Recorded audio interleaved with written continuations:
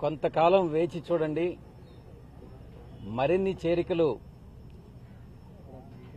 బాగా ఇస్- కొంచెం ఇంట్రెస్ట్ కలిగించేటటువంటి చేరికలన్నీ కూడా వైఎస్ఆర్ కాంగ్రెస్ పార్టీకి లో ఉంటాయి.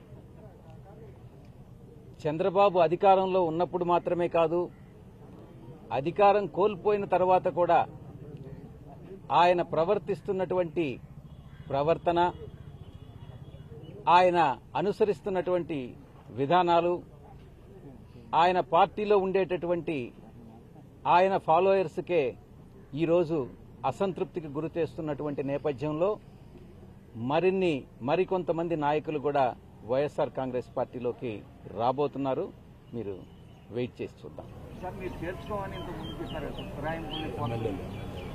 ఎమ్మెల్యేలను కానీ ఎమ్మెల్సీల విషయంలో మొట్టమొదటి నుంచి కూడా మా పార్టీ అధ్యక్షులు ఒకే ఒక విధానాన్ని ఫాలో చేస్తా ఉన్నారు. అది ఎవరైనా కానీ అను పార్టీ కానీ అనుమతిస్తే వారు రాజీనామా చేసి పార్టీలోకి రావాలే కానీ మిగతా వాళ్ళని పార్టీలోకి తీసుకోవడంలో ఎటువంటి అభ్యంతరం లేదు?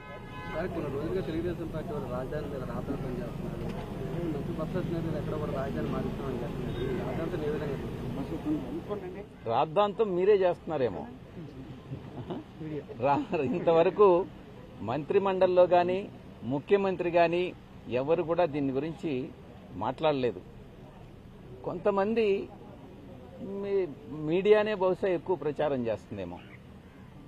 అలాగని రాజధాని విషయంలో వ్యతిరేకత ఏమి లేదు కానీ ఇక్కడ ఉండేటటువంటి కొన్ని కష్ట నష్టాలు ఏదైతే ఉన్నాయో ఇప్పుడు రీసెంట్గా ఉన్నటువంటి వరదల్లో ముంపుకు గురైంది ఈ ప్రాంతం. వాటికి నివారణ చర్యలు ఎలా చేపట్టాలి? ఏ రకంగా అభివృద్ధి చేయాలి? దాని మీద ఇంకా కూడా ఏ ఎటువంటి నిర్ణయం తీసుకున్నటువంటి పరిస్థితి?